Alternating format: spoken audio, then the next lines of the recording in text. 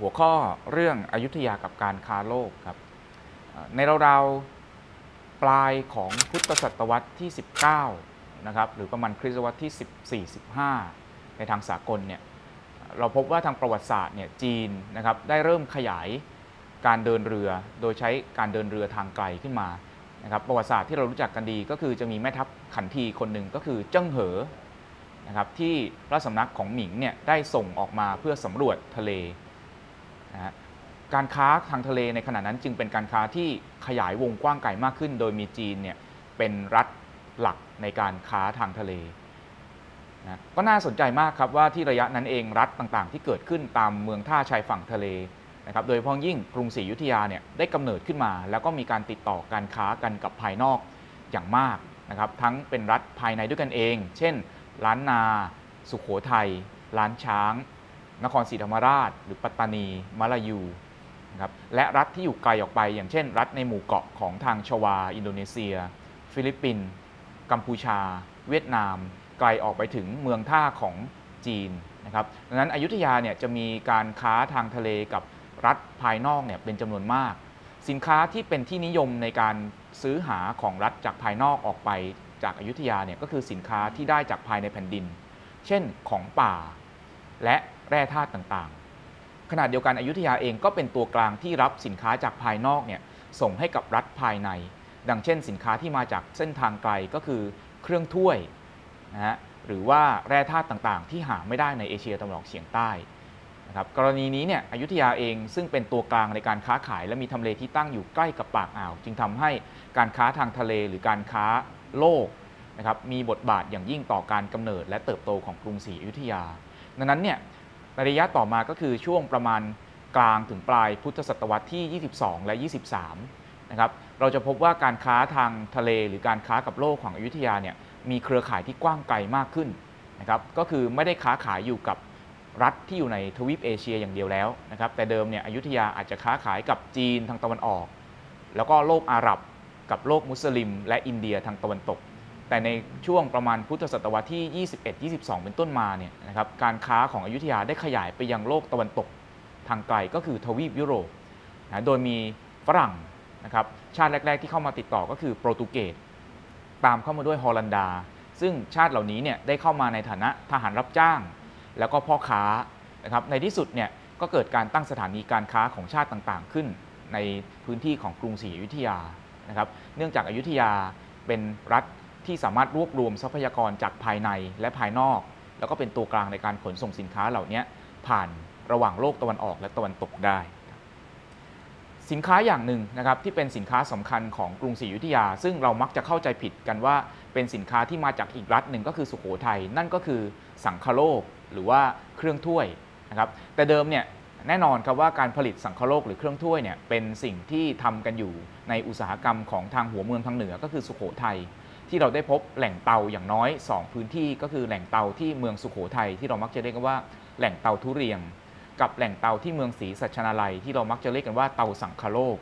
นะแหล่งเตาสองที่นี้เนี่ยมีการผลิตมาแล้วอย่างน้อยเนี่ยตั้งแต่ประมาณพุทธศตวรรษที่ 17 18 19นะครับและในที่สุดเนี่ยราวๆพุทธศตวรรษที่ 20นะครับอยุธยาเนี่ยได้ยึดหรือว่าครองเอาดินแดนของสุโขทัยเอาไว้ได้ ดังนั้นเนี่ยอยุธยาจึงสามารถ ควบคุมการผลิตเครื่องเคลือบหรือเซรามิกเหล่านี้ในเมืองทั้งสองแห่งได้ โดยเฉพาะยิ่งการผลิตเซรามิกที่เมืองศรีสัชนาลัยนะครับ ซึ่งมีการผลิตเปลี่ยนจากระบบการผลิตแบบท้องถิ่น มาเป็นการผลิตแบบอุตสาหกรรม มีการขยายเตาเผา มีการรับเอาเทคนิคการผลิตเครื่องเคลือบจากภายนอกก็คือจีนเนี่ยเข้ามานะครับผลิตภัณฑ์ที่น่าสนใจมากๆ ของกลุ่มเตาในสุโขทัยก็คือการผลิตเครื่องเคลือบสีขาวเขียนลายสีน้ำตาลใต้เคลือบ ซึ่งเป็นการพยายามเรียนแบบเครื่องถ้วยลายครามของจีน กับผลิตภัณฑ์อีกแบบหนึ่งนะครับที่ทางศรีสัชนาลัยหรือสุโขทัยผลิตขึ้นได้ แล้วก็ได้รับการส่งออกโดยรัฐอยุธยาเป็นอย่างมากก็คือเครื่องเคลือบสีเขียวไข่กา ที่เราเรียกมันว่าเซราดอนนะเครื่องเคลือบแบบนี้เนี่ยได้รับอิทธิพลจากเครื่องถ้วยแบบจีนในช่วงประมาณราชวงศ์หยวนถึงราชวงศ์หมิงนะครับสาเหตุอย่างหนึ่งนะครับที่ทำให้เครื่องถ้วยหรือเครื่องสังคโลกเนี่ยเป็นที่นิยมในการส่งออก นะครับโดยพ้องยิ่งเนี่ยส่งออกไปในรัฐที่อยู่ทางตอนในนะครับและรัฐที่อยู่ตามหมู่เกาะต่างๆ โดยอยุธยาเนี่ยเป็นตัวกลาง นั่นก็คือช่วงระยะเวลาที่จีนเนี่ยในราชวงศ์หมิง หยุดส่งราชบรรณาการที่เป็นเครื่องถ้วยออกนอกประเทศจีน ซึ่งเรามักจะเรียกช่วงนี้ว่าหมิงแก๊ปนะช่วงนั้นเองทำให้เกิดภาวะขาดแคลนเครื่องถ้วยครับตามรัฐต่างๆ อยุธยาและรัฐอื่นๆ โดยรอบไม่ว่าจะเป็นเวียดนาม ญี่ปุ่นนะครับ ได้ทำการผลิตเครื่องถ้วยของตัวเองเนี่ยออกมาทดแทนสินค้าที่ออกมาจากจีนนะครับก็เลยทำเป็นเป็นโอกาสทำให้เครื่องสังคโลกเหล่านี้เนี่ยได้รับการขายออกไปในวงกว้างมากขึ้นนะครับหลักฐานต่อมานะครับที่แสดงถึงการขยายตัวของการค้าโลกที่มีบทบาทกับอยุธยานั่นก็คือการค้นพบแหล่งเรือจมนะแหล่งเรือจมเหล่านี้นะครับได้รับการค้นพบในอ่าวไทยและพื้นที่โดยรอบเนี่ย หลายสิบแหล่งในปัจจุบันนะครับโดยมีการดำเนินงานของกองโบราณคดีใต้น้ำกรมศิลปากรเป็นหลัก เราได้ค้นพบแหล่งเรือจมที่สำคัญหลายแหล่งนะครับแหล่งที่สำคัญมากๆ แหล่งหนึ่งก็คือแหล่งเรือจมรางเกวียน ซึ่งอยู่บริเวณจังหวัดจันทบุรีนะครับแหล่งนี้เนี่ยก็จะได้ค้นพบเครื่องสังคโลกแล้วก็สินค้าต่างๆ เป็นจำนวนมาก ไม่ว่าจะเป็น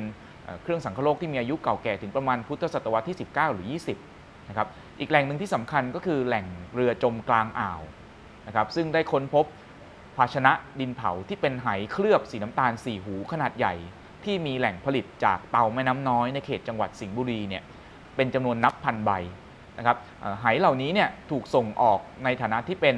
ผลิตภัณฑ์ที่ใช้บรรจุนะครับสินค้าต่างๆ เนื่องจากในไหบางใบเนี่ยเราได้พบการเอาภาชนะขนาดเล็กเนี่ยบรรจุลงไปด้วย หรือในไหบางใบเนี่ยมันมีการบรรจุเอา